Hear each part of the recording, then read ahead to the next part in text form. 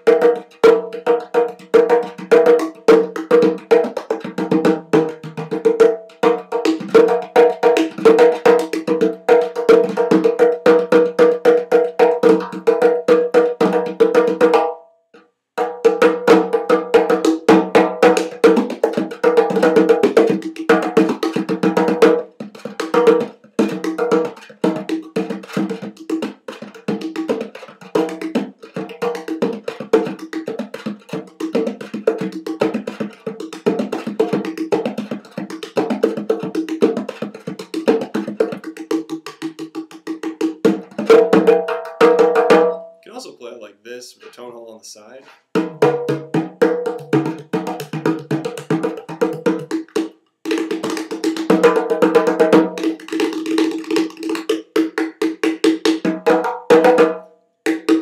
These both play the same note because they're connected at the bottom here uh, on the inside. I don't really know if you can see that, but um, but anyway, right here, there's a connection point going inside the main body of the drum, and then most of the sound's coming out the bottom. Um,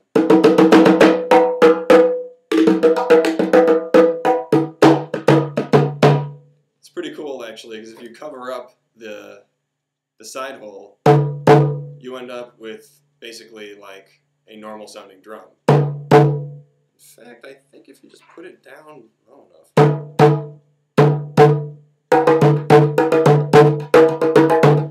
I'm just covering the side hole with my leg here.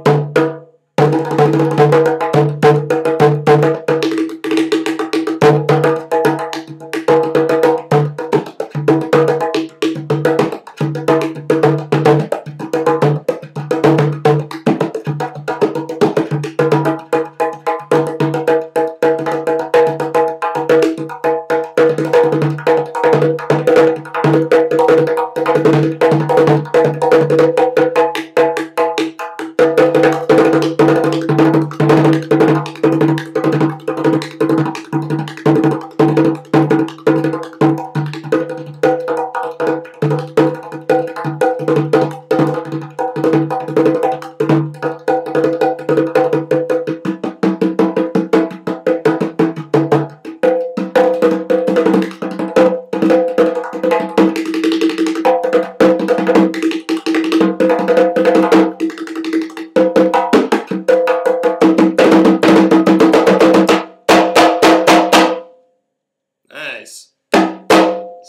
Can slap this. I actually haven't even tried that before. Let's see how it sounds like this. Sounds like a djembe, actually.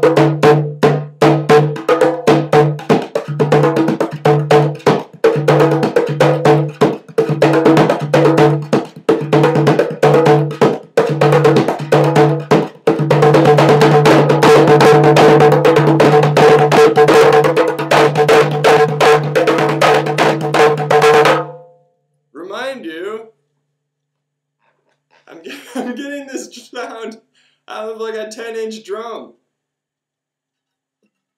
This thing is tiny. It's not that much bigger than my head, although, you know, I have a decent sized head. Anyway, the point is, this is evidence, um, well, of two things. Okay, one, stingray skin drums are really sought after, and Partly, it's because the uh, the heads are extremely durable. They're weather resistant, um, but mostly it's because they can be very thin but very very strong at the same time. And when the head is thin, it has good, really good bass response and really good high end. So it's just a good material. It's a rare material to find, and uh, these drums are usually really expensive, but I'm selling them uh, at an extremely reasonable rate because I want to sell them, make money.